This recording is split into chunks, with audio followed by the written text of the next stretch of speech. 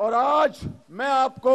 ये बताने आया हूं कि रिंग रोड जो कि रावलपिंडी के लिए एक बहुत बड़ा तोहफा है वो जल्द इंशाल्लाह उसको मुकम्मल किया जाएगा और 30 अरब रुपए के साथ पानी का मंसूबा जो रावल डैम और खानपुर डैम से पानी उसकी जो तादाद है वो डबल हो जाएगी इसी तरीके से सुई गैस के लिए 18 इंच का पाइप और ये तीस अरब का मनसूबा मैंने जब यहाँ पर वजीर आजम था उसका फंड मैंने उसकी मंजूरी दी और इनशाला अब आप देखेंगे कि चंद महीनों में दो महीनों में ये आईजेपी रोड यहाँ पर बिजली से चलने वाली बसें चलेंगी आपके लिए